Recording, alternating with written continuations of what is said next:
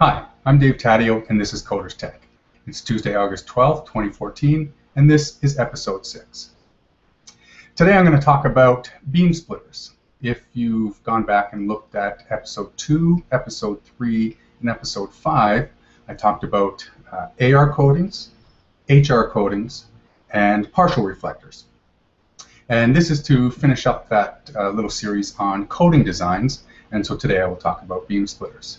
A little bit later on, I'm going to talk a little bit about uh, optimization and the different techniques of optimization you can use, and kind of what that means and some uh, resources you can go to for that.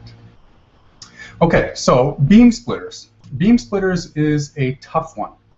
Uh, beam splitters can be many, many things and can be used for uh, all kinds of different things from uh, separating polarization uh, axis of light, or you can use a beam splitter as an output coupler, allowing a certain amount of light through and reflecting a lot more light back into the uh, resonance cavity.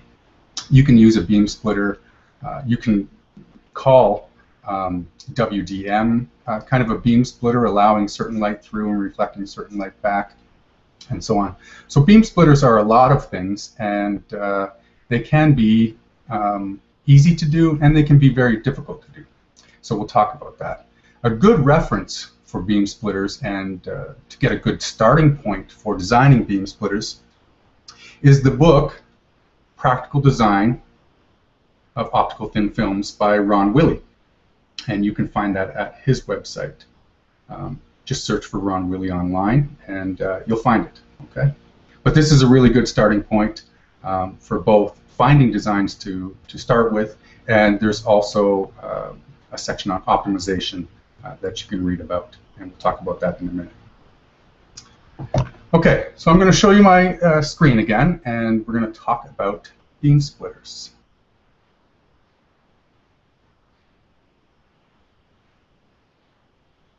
Okay. So I have up here the first beam splitter I want to show you is um, a polarizing beam splitter. This is your standard cube beam splitter where the uh, cube is made out of two 45 degree um, uh, prisms cemented together with the coating, the beam splitter thin film on one of the surfaces, one of the hypotenuse of the one of the prisms, a 90 degree uh, prism, a right angle prism. And what you can see here, and this is a very standard design, I'll just show you very quickly what the design is. This design is just one high, one low, times 12, so 24 um, layers. And in this case, I'm using SiO2 and TiO2. And the prisms that I'm using this on, this cube beam splitter, uh, are BK7. Okay? And the red line here, if I calculate, you can see the red line here is at 45 degrees and P polarization. You can see that. I'll change that to black is, in this particular example, is allowing the transmission of light between 500 and 550 in P polarization. The blue line is the S polarization.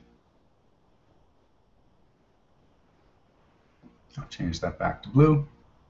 And it's reflecting almost 100% or close to 100% of the light in the S polarization. So this is a polarizing beam splitter. Very simple, very uh, good starting place, and textbook. Like I say, look at uh, Ron Willey's practical, practical design of optical thin films, and you'll find um, these textbook designs in there. If you want to, you, you, you may need to drop the reflection here between 500 and 550 or whatever wavelength that you're looking for. Um, so you'll have to add a couple of layers uh, at the end here, high and low, maybe uh, three, maybe four, maybe five layers in order to suppress this ripple, this ripple suppression. Uh, you'll add ripple suppression layers uh, here. Okay, and that will allow uh, more transmission across here while still maintaining the reflection across the wavelength range you're looking for in S polarization. Of course, if you do ripple, uh, ripple suppression for your P polarization, you'll also have weird things happening over here in your S polarization, but presumably you're not interested in that stuff. Okay? Another way to look at a beam splitter, well, I've got this open. I'll go back to P. Click OK. Calculate. Oh, redraw. And you can see a beam splitter could also be I'm splitting the beam of light, which is a broadband uh, wavelength of light, from let's say from 400 to 600 or beyond, and I'm splitting this wide band or this wide wavelength range beam right here. I'm reflecting some in the p polarization and transmitting some in the p polarization. So this could also be considered a beam splitter, okay, where I'm reflecting some of the, in this case, the visible light and transmitting some of the visible light. That's in a cube. And if I take my air and switch that to air, oh, two. Just one second. Okay. Recalculate that. And you can see how that changes. And again, so this is in air on a 45 degree angle, BK7. You can do the, add the layers at the end here, do some optimization to suppress these ripples, and you have a beam splitter. Okay? You can go both ways. You can split the beam in the long wavelength range or the short wavelength range, but it's a beam splitter, okay? At 45 degree angle. The next beam splitter I'm going to just kind of look at is an output coupler. And if we take a look at this one, this is at zero degrees angle of incidence. And this is 9% at 251. And you can see at 251 it's 9%. And all this is, is allowing, let's say, 9% of the light coming out of this laser, for example, as it's an output coupler, to exit the resonance cavity. And the other 91% will be reflected back in towards the high reflector at the other end of the resonance cavity. This is also a beam splitter. It's called an output coupler, but of course it's also a beam splitter. It splits the beam 91 and 9. Okay? Again, the design, fairly simple. You can see that it's one high, one low, 23 times. So this is this in this particular case, it's 46 layers. And the materials I'm using for this are SiO2 and aluminum oxide, and the substrate is magnesium fluoride. Okay. That's a beam splitter, and we also looked at polarizing beam splitters. The next beam splitter I want to look at is a non-polarizing beam splitter. And these ones are tricky. They're tricky in a couple for a couple of reasons. Typically, you need to have um, your indices, your machine uh, has to be very well um, characterized. You really need to know the characterization of your coating machine for the materials that you're using.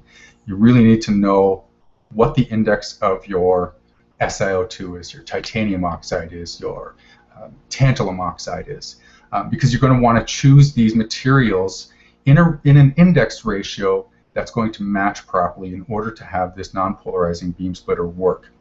And this is very, very finicky.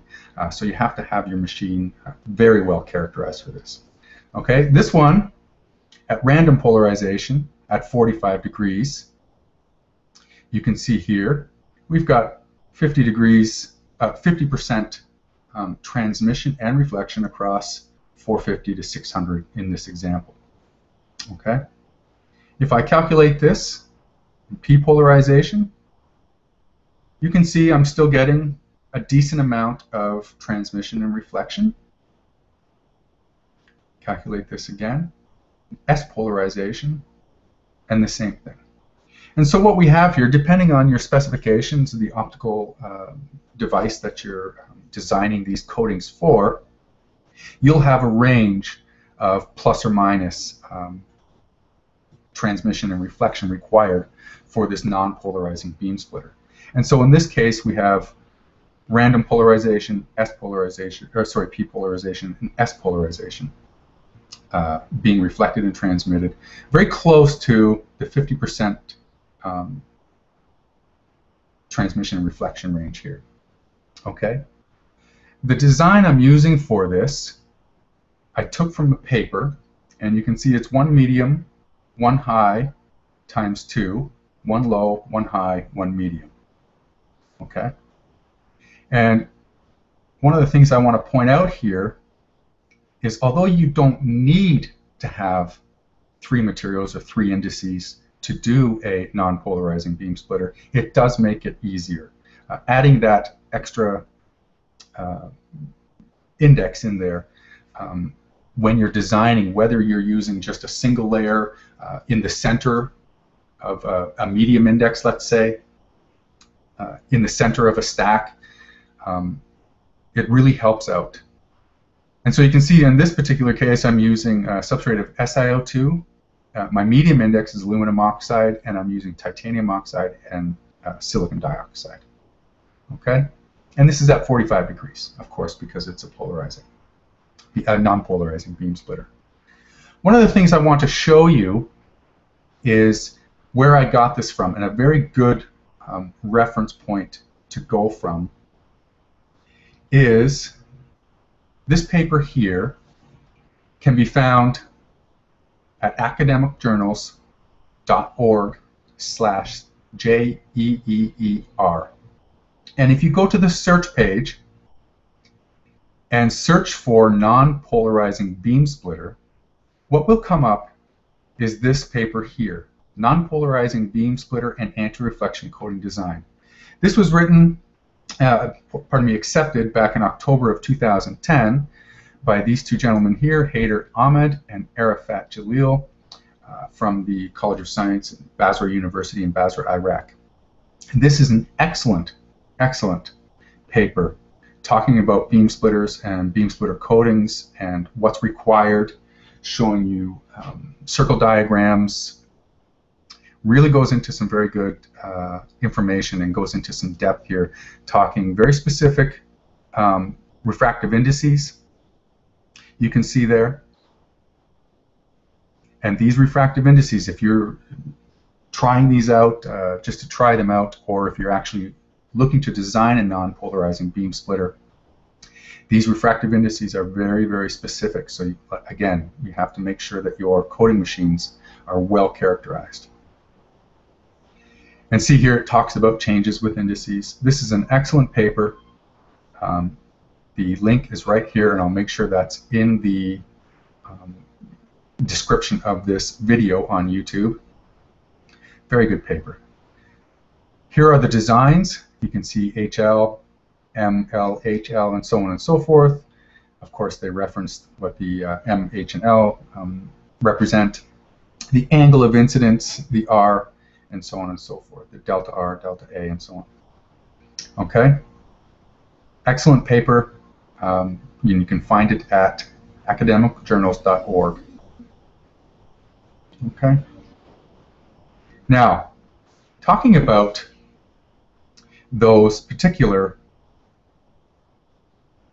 um,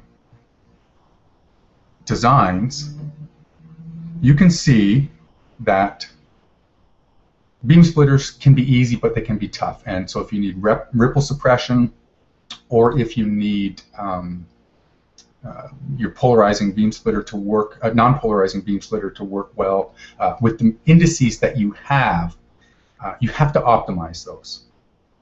And as I said at the beginning, Um, Practical Design of Optical Thin Films from Ron Willey has a section in there about, uh, he talks about optimization.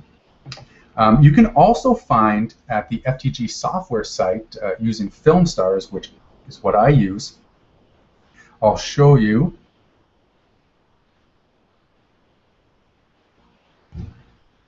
We'll take a look here in the FilmStar manual.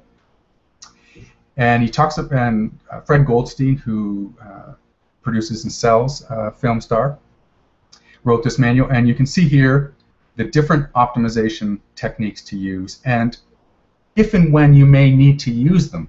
I have uh, I've had a, a, few people email me about optimization and what to use and uh, how to use them, and I've seen a lot of people um, just use damp least squares all the time. You just put some numbers in there, bunch of layers, bunch of iterations and click optimize and cross your fingers and hope for the best. Um, that isn't always the best way to do it. So if we if you go to the FTG uh, software website and find the uh, manual for FilmStar, this will give you a description of the different um, methods, the different algorithms for running an optimization, damp least squares, L-M or uh, Levenberg Marquardt, numerical optimization library, and so on. And there's a, a short description here to get you started, um, giving you uh, what's required to start an optimization using these methods and which ones uh, work best in which circumstances. So definitely uh, find this and uh, read through it. It's a short read. I, mean, you should have this manual anyway.